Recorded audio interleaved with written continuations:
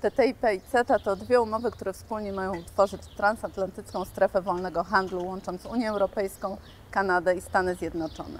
Ich celem jest nie tylko zniesienie ceł w eksporcie i imporcie pomiędzy tymi organizmami, ale przede wszystkim zniesienie tzw. Tak barier pozataryfowych, to znaczy zrównanie różnych dzisiaj standardów bezpieczeństwa, na przykład żywności, na przykład pracowniczych. Te umowy były negocjowane od wielu lat w pełnej tajemnicy, ale aktywiści i aktywistki próbowali dowiedzieć się, co w nich się znajduje i oczywiście wpłynąć na negocjatorów tak, aby działali w interesie publicznym. Na szczęście niedawno udało się w końcu dzięki organizacji Greenpeace zobaczyć proponowany tekst umowy, no i niestety nasze najgorsze obawy potwierdziły się.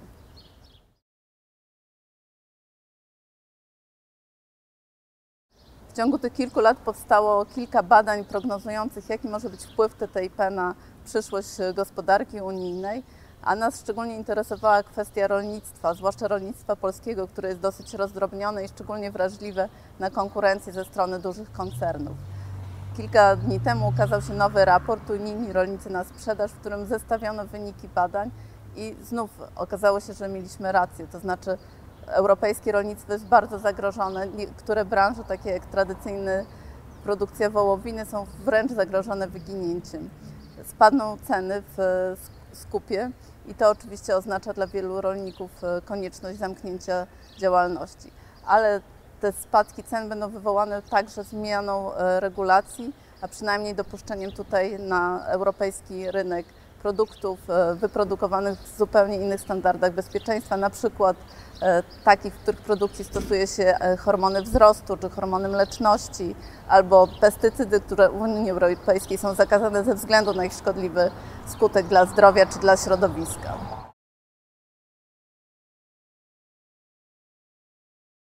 Jak wskazują badania, skutkiem tej umowy zniesienia ceł i tych barier pozataryfowych będzie zalanie europejskich sklepów tanią, ale też niebezpieczną dla zdrowia żywnością amerykańską. To oczywiście ma wpływ na bezpieczeństwo konsumentów. Mówimy o żywności, ale to samo dotyczy na przykład chemikaliów czy kosmetyków, które codziennie stosujemy. Europejskie normy zbudowane wokół zasady ostrożności mogą zostać podważone i to potwierdza też przeciek Greenpeace'u, gdzie zasada ostrożności nie została zagwarantowana.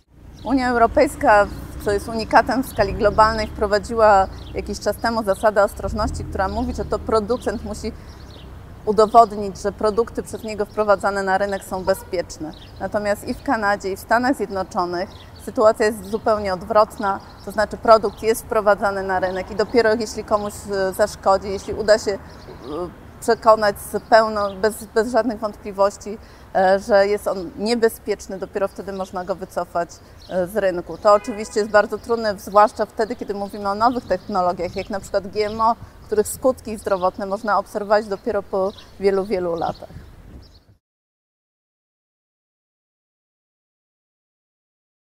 kwestii umowy CETA jesteśmy już e, na etapie, kiedy umowa jest przygotowana. W tej chwili będzie wysyłana do Rady Unii Europejskiej, a zatem ciała, w którym zasiadają ministrowie krajów członkowskich, także Polski, po to, aby Rada przyjęła lub odrzuciła całą umowę.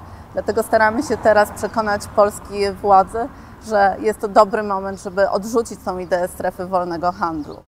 Dlatego niezwykle ważne jest teraz w kwestii umowy CETA, aby pokazać e, polskim władzom, że jesteśmy bardzo przeciwni podpisywaniu tej umowy, że zagraża ona naszemu bezpieczeństwu i ekonomicznemu, ale także zdrowotnemu.